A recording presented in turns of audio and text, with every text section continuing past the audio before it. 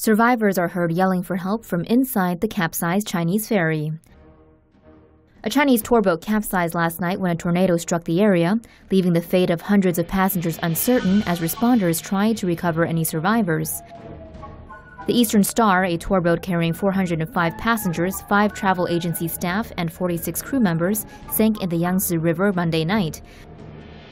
The vessel was heading to southwestern Chongqing City from Nanjing, the capital of Jiangsu province.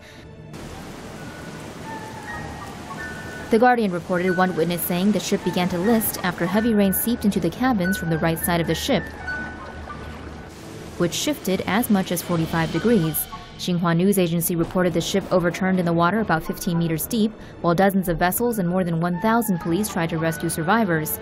Xinhua also reported people could be heard calling for help from inside the ship's hull, while television footage showed rescuers cutting through the vessel with an angle grinder. Only a dozen or so survivors have been pulled from the water, while hundreds more remain unaccounted for.